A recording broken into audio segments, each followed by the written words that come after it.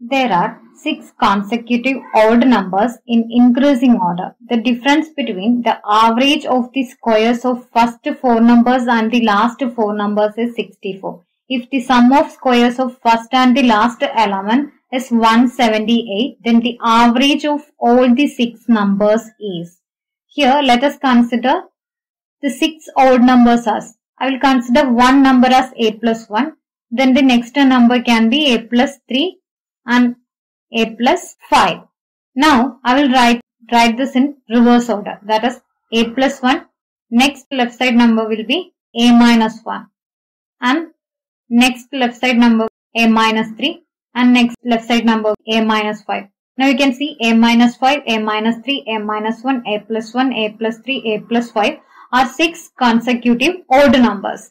Now if you take the average of these 6 numbers average of 6 odd numbers, you can see if you take the sum of this a minus 5 to a plus 5, minus 5 plus 5 cancel, minus 3 plus 3 cancel, minus 1 plus 1 cancel.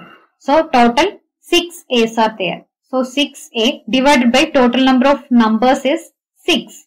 Now 6a by 6 is a. So average of this 6 numbers is a. And this question says if the sum of the squares of first and last element is 178. Sum of squares of first and last element. First element is a minus 5 and last element is a plus 5. So if I take the sum of the squares of a minus 5 and a plus 5, it is 178. So a minus 5 the whole square plus a plus 5 the whole square is equal to 178.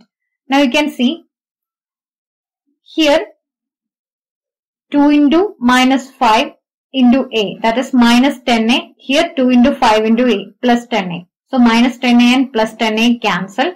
Remaining is a square plus a square that is 2a square plus here 5 square plus 5 square 25 plus 25 that is 50.